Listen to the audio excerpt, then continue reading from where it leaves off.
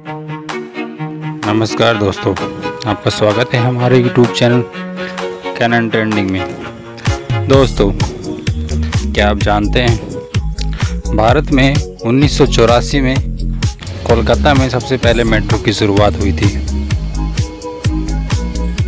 दोस्तों, क्या आप जानते हैं, ज़्यादातर विज्ञापनों में घड़ी पर दस बजकर दस मिनट का समय दिखाया जाता है। दोस्तों, क्या आप जानते हैं, रेलगाड़ी को हिंदी में लोहपत गामिनी कहते हैं।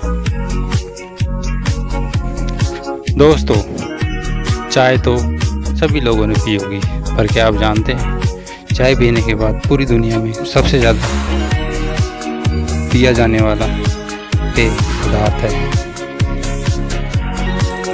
दोस्तों दुनिया में तीन ऐसे देश भी जहाँ यूट्यूब को बैन कर दिया गया है। जिनमें चीन, ईरान और उत्तर कोरिया है। दोस्तों, भारतीय संविधान पूरा हस्तलिखित है। इसे श्री श्याम बिहारी रायजादा ने लिखा था।